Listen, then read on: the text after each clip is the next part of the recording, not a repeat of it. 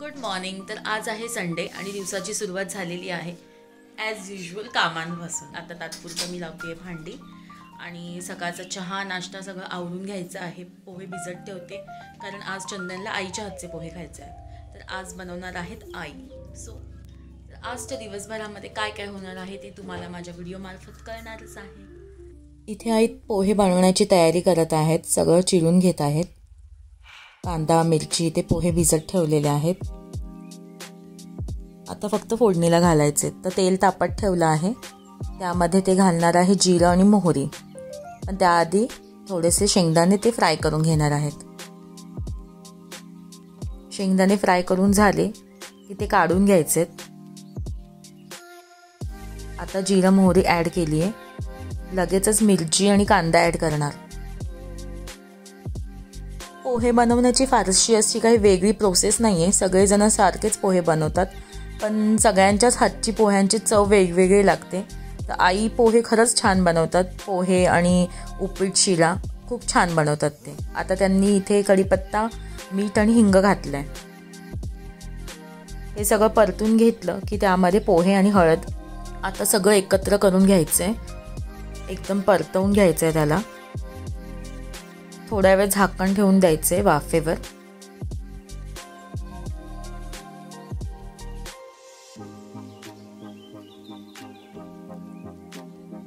हे झालेत पोहे रेडी आणि आता आम्ही सगळेजण नाश्ता करणार आहोत.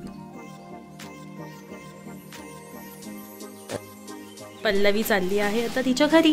बाय. Bye bye. भेटू लवकर. ये कधी येणार आता परत. गप्पा शनिवार वगैरेची यायचं बाय बाय. बाय पोचली की मेसेज कर.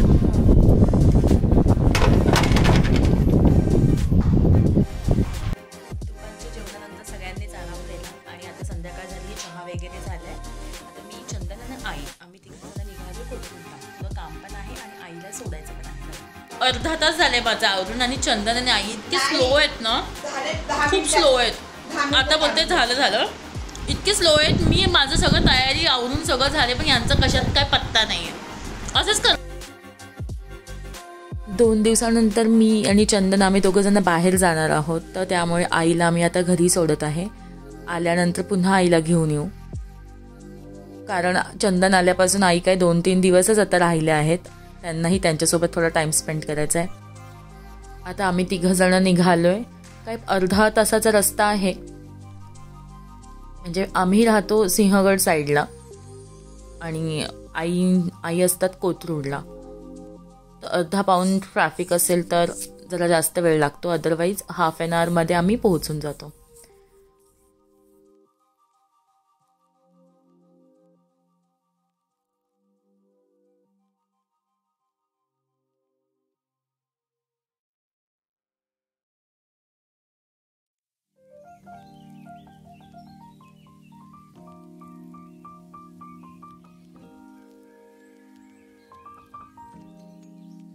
थोडा वेळ घरी टाईम स्पेंड केल्यानंतर आम्ही निघालो आहे पुन्हा आमता आमच्या घरी येण्यासाठी. आता आम्ही डिनर करूनच घरी जायचा प्लॅन करतोय. बघू आता कुठे काय खायची इच्छा झाली की थांबू.